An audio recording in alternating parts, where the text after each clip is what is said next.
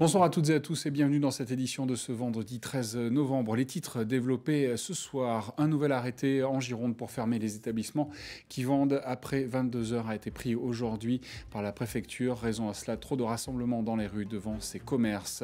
Un incendie à Bordeaux qui a ravagé un parking d'un immeuble de 20 logements. Pas de blessés mais de gros dégâts. Enfin, pensons-y, Noël approche et avec lui les sapins qu'il faudra décorer. Nous irons en Dordogne dans une exploitation arboricole qui ne produit que des sapins destinés à Noël. Enfin, la météo de ce week-end sur la Nouvelle-Aquitaine. Du soleil sur l'ensemble de la région ce samedi, malgré la présence de quelques nuages en début et fin de journée. En revanche, dimanche après-midi, retour des averses sur toute la région. Côté température, il fera entre 17 et 21 degrés.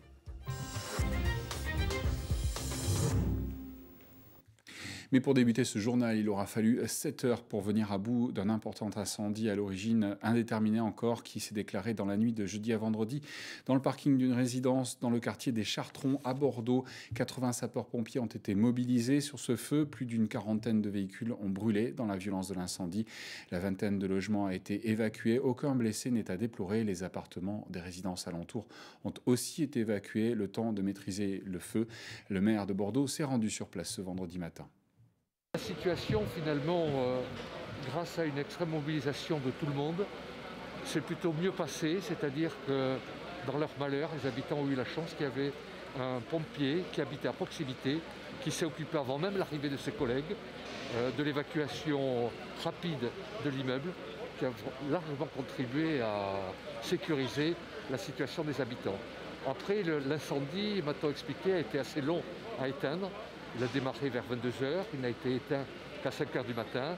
Sur le plan technique, ça a été très compliqué, m'ont expliqué euh, les pompiers, notamment le, commandant qui était, qui, était, sur place. actuellement, ils sont pratiquement tous relogés, certains dans leur famille, d'autres grâce euh, à la réactivité du CCS de la ville de Bordeaux, hein, qui a trouvé des logements euh, rapides et immédiats. Et également, vous avez le bailleur social qui a été très réactif et qui est en train de chercher des, euh, logements de substitution pour ceux qui ne seraient pas encore euh, logés dans des conditions trop pérennes.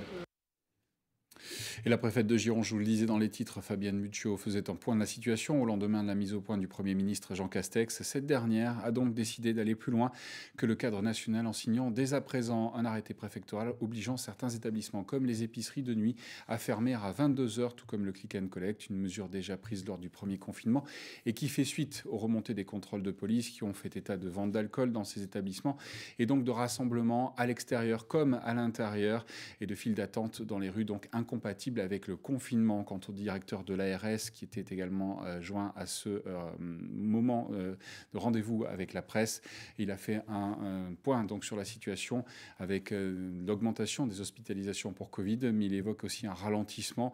Bref, des chiffres à prendre avec précaution. Enfin, pour éviter une crise sociale qui se rajouterait à la crise sanitaire, seront donc renforcés le plan d'urgence d'aide alimentaire envers les plus démunis, actionné lors du premier confinement, mais aussi les marottes du SAMU social ou encore le dispositif d'hébergement d'urgence. Quant aux établissements scolaires de l'Académie de Bordeaux, des classes commencent à fermer pour cause de Covid 6 en Gironde, une en Lot-et-Garonne et une dans les Landes. Ce sont désormais 559 élèves sur les plus de 577 000 que compte l'Académie qui sont déclarés positifs au Covid sur les sept derniers jours, des chiffres qui ont donc augmenté euh, plus de quatre fois en une semaine. Sur toute la France, ce sont 12 487 élèves qui ont été déclarés malades au coronavirus dans l'espace de sept jours. Jean-Michel Blanquer déclarait d'ailleurs, euh, le ministre de l'Éducation, estimé en début octobre que l'école n'était pas un nid euh, du virus. Je cite, cela pourrait donc faire changer son discours à l'avenir.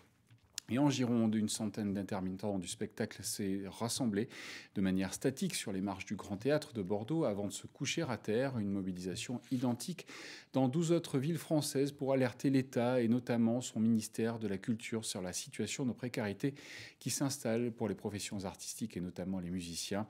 Avec la crise sanitaire et le confinement, ils se retrouvent sans travail. Ils ne peuvent donc plus cotiser pour pouvoir maintenir leur statut d'intermittent du spectacle. Et même si leur situation a été gelée par le président de la République, jusqu'au 31 août prochain, ils craignent pour leurs droits sociaux.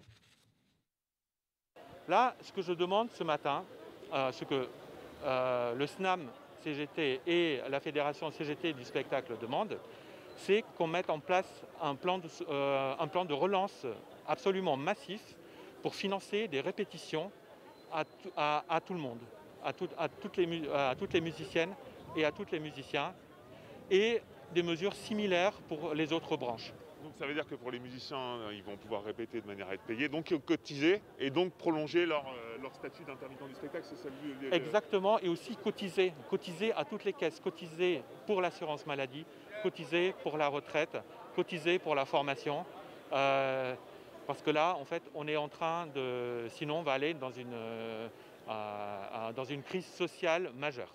c'est sympa hein, d'avoir des indemnités chômage, mais, mais nous, ce qu'on veut, c'est travailler. Hein. Et la métropole bordelaise, dans son plan de soutien à l'économie, met sur la table 80 millions d'euros sur trois axes l'urgence, le soutien au commerce local et la préparation du moyen terme avec des aides directes, entre autres, euh, comme nous le détaille son président Alain Andiani, euh, des mesures qui doivent être débattues notamment en conseil. Pour répondre à tous les besoins des, petites entreprises et donc également des, des commerçants, à la fois euh, un soutien pour la trésorerie, on sait que c'est une principale difficulté, un soutien aussi au loyer pour prendre en charge une partie des, loyers des, commerces. Et puis, que, que demande un, commerçant? Des clients. Et donc, euh, on a tout un, ensemble de dispositifs pour favoriser la proximité de, la clientèle, dire aux gens d'aller voir euh, leur commerce de, proximité. Ça va passer par euh, à la fois de la publicité, de la promotion, mais également aussi par des chèques qu'on donnera aux familles les plus défavorisées à travers les, les CCAS pour stimuler la demande et donc pour soutenir, euh, pour soutenir le commerce. Et puis évidemment aussi une plateforme numérique qui sera mise en place et soutenue par, euh, par la métropole, qui est créée par la Chambre de commerce et d'industrie que, que je veux saluer.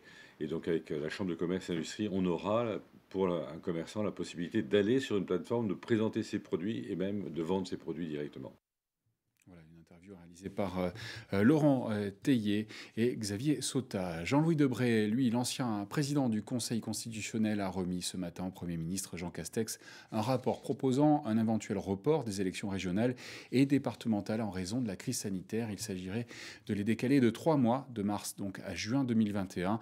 La possibilité de voter par correspondance ou par Internet est également une voie explorée.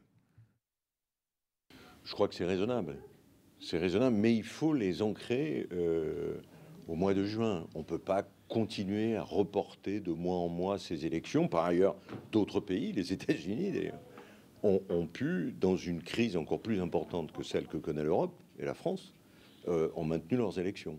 Donc il faut peut-être réfléchir, euh, vote par correspondance, le système des procurations, mais ce système des procurations peut avoir des biais. donc euh, moi, je souhaite qu'on fixe, pour des raisons d'ailleurs démocratiques, voilà, il faut qu'on puisse y voir clair et que cette campagne se passe euh, en transparence. Et le confinement a donc modifié certaines habitudes des Français, notamment des Girondins. Au printemps dernier, le drive fermier a vu son nombre de commandes exploser. Un concept girondin créé en 2012 par la Chambre départementale d'agriculture. Aujourd'hui, il rassemble 40 producteurs locaux et propose plus de 600 produits. Et à la hausse de fréquentation se confirme pendant ce deuxième confinement. Julien Privat s'est rendu dans le drive fermier à Ésine. Devant le drive fermier d'Ésine, les clients continuent à défiler pour récupérer leur panier. On a de la salade, on a du chou, on a des radis, des carottes, des produits frais. On a trouvé ça avec, euh, avec le premier confinement.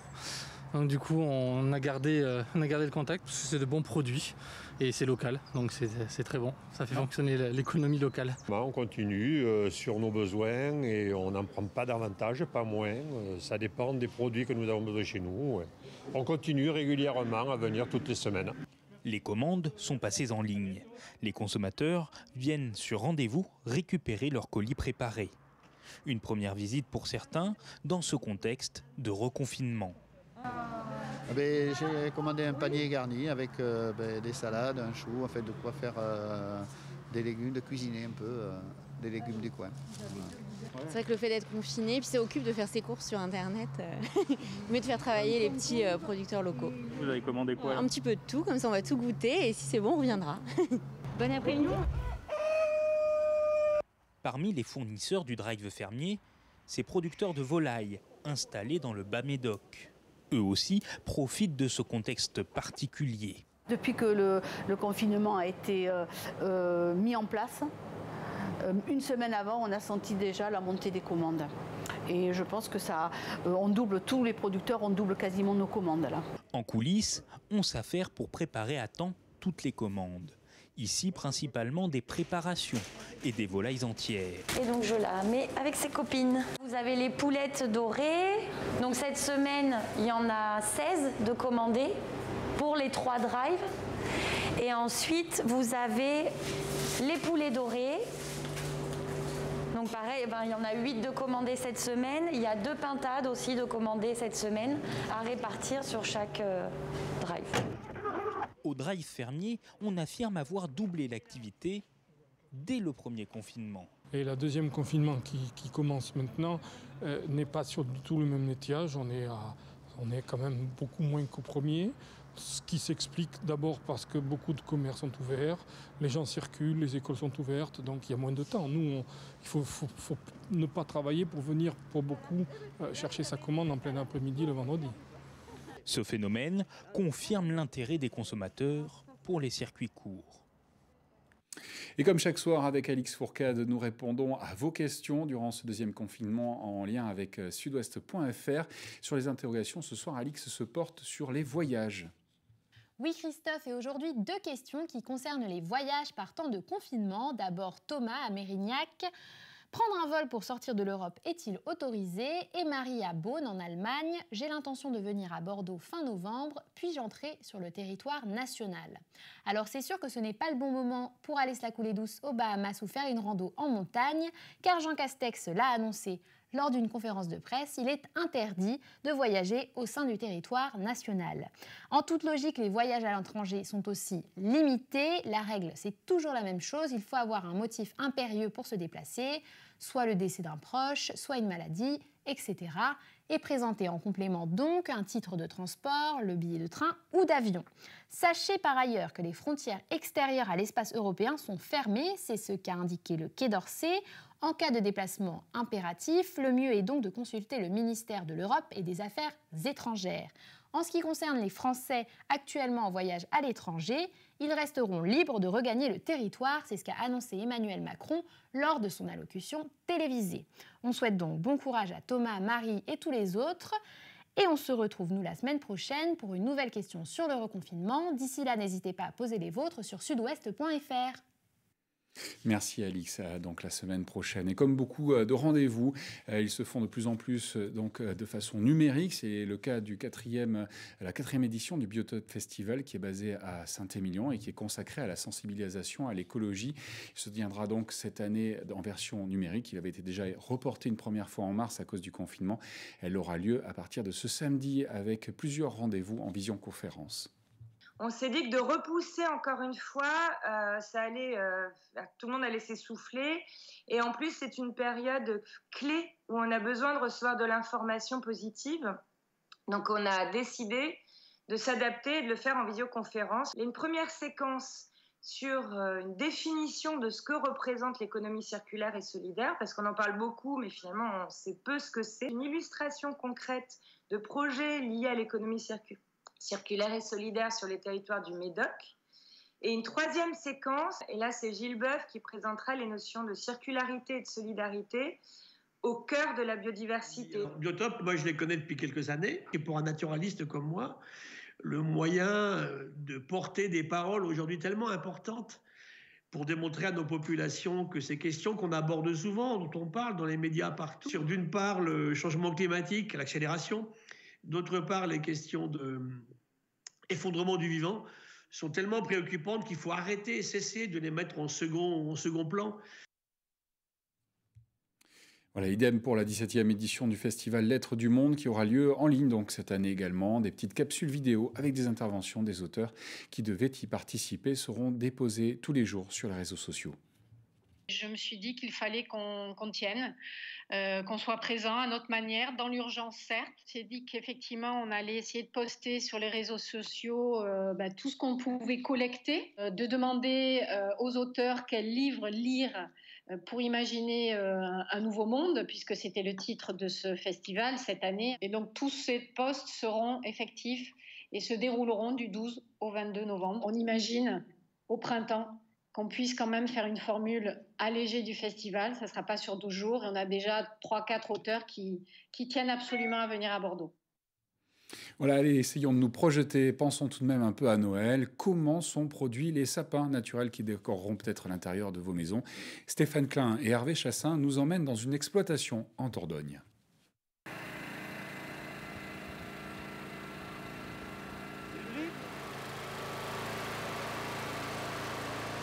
Comment sont produits nos sapins de Noël? Eh bien, ils sont cultivés comme des carottes et des, salades dans des exploitations avec beaucoup de soin. Nous avons rencontré une, productrice qui les bichonne à Augignac, en Périgord vert. Je suis gérante de la société Les Sapins du Périgord vert. On fait tout particulièrement du sapin pour Noël. Euh, nous n'avons que cette activité-là euh, de toute l'année.